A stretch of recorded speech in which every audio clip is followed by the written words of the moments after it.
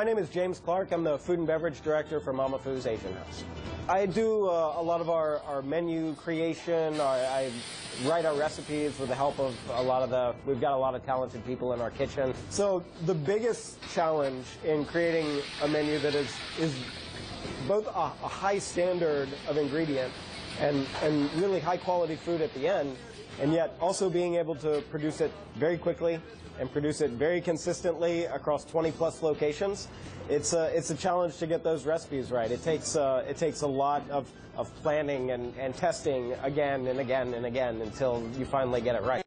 So much trends towards Korean flavors and Thai flavors, Vietnamese flavors are, I think, kind of the next big thing that's coming up. And so we've really done our best to incorporate those flavors that are, are new and a little bit different. Es- Especially in the Austin area, there's a lot of very adventurous diners that want to try something different.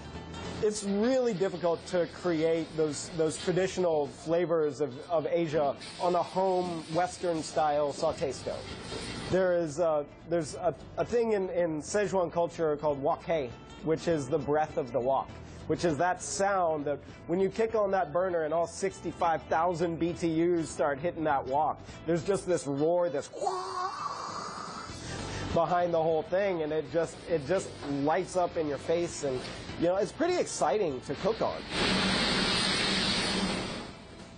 This type of cooking really lends itself to high-speed cooking. The wok is designed for, for really quick cooking. It's not really as, as much slow simmering kind of stews and things like that that you would get in other cuisines. It's designed for quickness.